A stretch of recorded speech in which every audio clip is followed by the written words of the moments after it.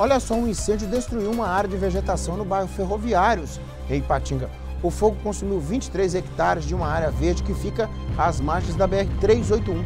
O fogo começou na sexta-feira à noite, foi controlado pelos bombeiros, mas no sábado pela manhã os bombeiros registraram uma é, reignição, que chama, né? Um novo incêndio no mesmo local, né? É, a reportagem está aqui, pode balançar. Foram mais de três horas para controlar o incêndio. A área destruída pelas chamas tem o equivalente a cinco campos de futebol e fica às margens da BR-381, no perímetro urbano em Ipatinga. As chamas se espalharam rapidamente. Por se tratar de uma localidade montanhosa, os militares do Corpo de Bombeiros usaram abafadores para apagar o fogo.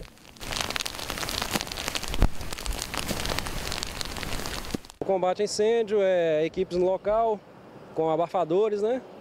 E técnicas de combate a incêndio em vegetação. De acordo com o Corpo de Bombeiros, o incêndio pode ter sido criminoso. Os militares já têm a informação de um homem que foi filmado colocando fogo na vegetação.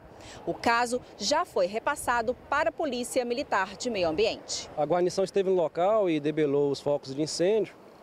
É, posteriormente, houve um novo chamado é, e, segundo informações que precisam melhor ser apuradas, que o indivíduo retornou ao local e ateou fogo à vegetação. De acordo com o Corpo de Bombeiros, o incêndio teria começado na noite da última sexta-feira. Os militares estiveram no local, conseguiram apagar o fogo, mas na manhã de sábado as chamas reiniciaram. O tenente Jorcélio alerta para o perigo.